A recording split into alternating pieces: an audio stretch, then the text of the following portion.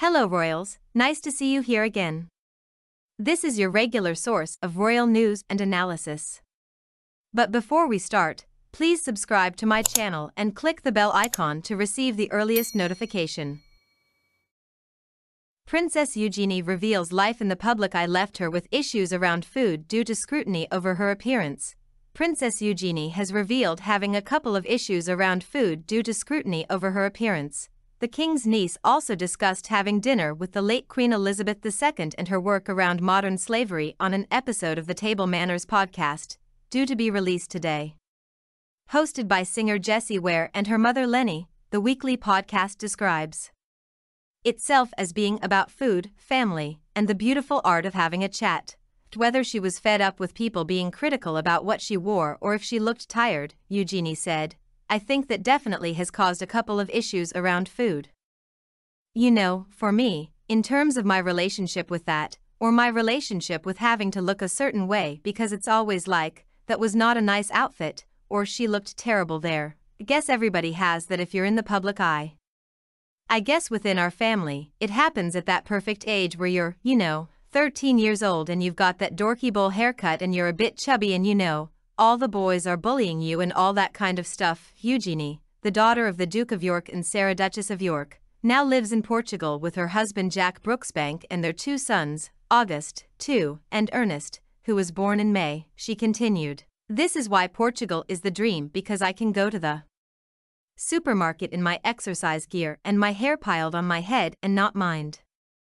Not care. No one cares. Among the other topics the princess discussed on the podcast was the etiquette expected when eating with her grandmother, Queen Elizabeth II. Eugenie said the family used table manners a when together, including having no knees at the table and children eating spaghetti bolognese.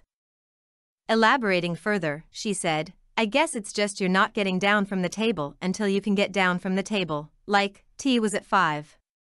And it was only ever, like, 45 minutes so you can never get stir crazy, and then we'd go running everywhere afterwards around the house like crazy people. The princess then answered questions about her Floodlight podcast, which highlights issues of modern slavery and is on its second season, which she started alongside Julia de Boinville, co founder of the Anti Slavery Collective.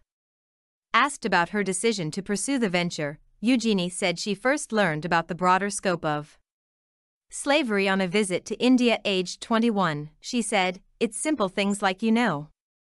Being aware that someone could be enslaved at your local nail bar or in a car wash, or in construction and things like that, it's not something in far flung places that you might not go to. It can happen within a mile of where you live in the UK and around you, so it's just about where are your clothes from? Have you asked someone if they're okay? If they don't look happy? Or that kind of thing. And it's about empathy and kindness as well.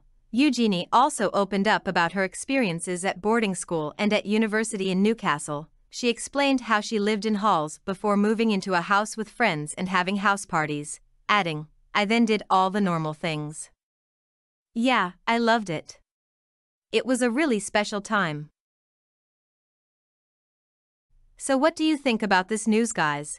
Thank you for tuning in to today's discussion. As always, I encourage you to share your thoughts in the comments section below.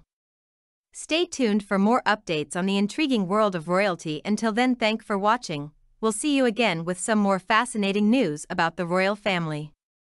Thank you.